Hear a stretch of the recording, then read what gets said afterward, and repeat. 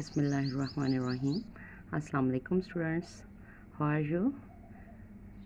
We will start our period number 22. First of all, we will mention the date and day. Uh, today's topic is use of this and that.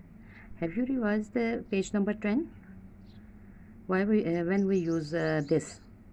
For singular things near to us and that J hurry up students when we use that when things are a thing single thing okay when singular is far from us जब हमसे कोई चीज़ जो है वो करीब है singular चीज़ की हम बात कर रहे हैं सिंगल चीज़ की तो देशो उसके लिए हम यूज़ करेंगे और अगर हमारे से चीज़ दूर है जिसको हम टच नहीं कर सकते, जिसके लिए हमें यूँ करके पॉइंट करना पड़ेगा, कि दैट इज़ वो जैसे हम बात करते हैं ना तो दूर की चीज़ के लिए far from us we will use that singular thing okay ये चीज़ जहन में रखिएगा दिस और दैट सिंगुलर के लिए आएँगे okay we will start our lesson with the name of Allah Rahim okay and finish it with अल्हम्दुलिल्लाह okay?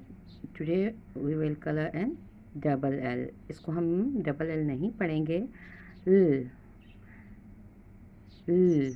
इसको आप कलर करोगे। ल में आप कलर करोगे। Practice making L words with your friends and your teacher it's mean with your mother. No what is your mother. Okay. Make sentences using this and that. The pictures will help you. अब देखिए ये पहली picture जब हम देखें what is this duck और आ, अब देखो वो उसके करीब है जो इसको पॉइंट कर रहे हैं इनके साथ। तो इसके लिए हम क्या यूज़ करेंगे? दिस आपको यहाँ पे नज़र आ आया है कोई कि पॉइंट कर रहा है कोई बंदा इसको कोई बॉय कोई गर्ल कोई भी इंसान कि कहीं हाथ आपको नज़र आया? नहीं. वो इससे दूर है। तो हमने जो फॉर फ्रॉम अस थिंग्स हैं, उसके लिए क्या यूज़ करना है? दैट देखिए डक उसके करीब है और क्लॉक उससे दूर है। अब आप मेरे साथ इसको सेंटेंसेस को लिखेंगे।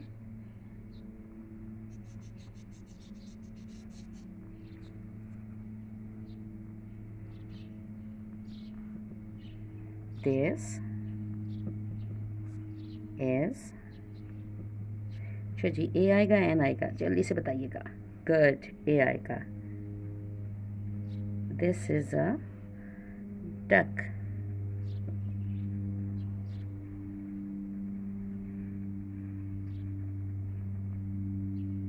this is duck okay क्या चीज़ मैं भूल गई हूँ? जी, बिल्कुल। फुल स्टॉप इसके बगैर तो सेंटेंस कंप्लीट नहीं होगा। हुँ? ओके देखिए ये डक जो है करीब थी तो उसके बिल्कुल नियर में थी। तो इसलिए क्या था? दिस इज़ अ डक अब क्लॉक उसके करीब है या दूर है? देखें, इस हैंके और क्लॉक के दरमियान में आप देख रहे हो ना कितना डिस्टेंस है। तो that's mean it is far from him तो इसके लिए हम क्या यूज़ करेंगे? दैट वेरी गुड क्या यूज़ करेंगे? That the at that that is G A आएगा एम आएगा, जल्दी जल्दी से बताइएगा। ख और ख कॉन्सोनेंट है तो ए आएगा। अ ख और ग। ठीक है, और फुल स्टॉप तो सेंटेंस हमारा कंप्लीट हो जाएगा।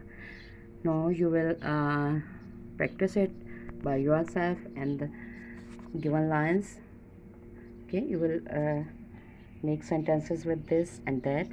Okay now uh, dictation words b और इसको हम इकट्ठा पढ़ लेंगे ठीक है? All B all ball B all ball B L bell B, L, bell.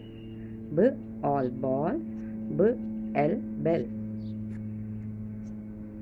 Okay students आपने इसको बहुत नीट से फॉर्मेशन का ख्याल रखते हुए लाइंस का ख्याल रखते हुए फुल स्टॉप मस्त लगाना है लाइन से ऊपर नीचे नहीं जाना जॉइनिंग आपकी प्रॉपर में होनी चाहिए। ये और फिर इसके आप मुझे सेंड कर दोगे वीडियो ओके अल्लाह हाफिज़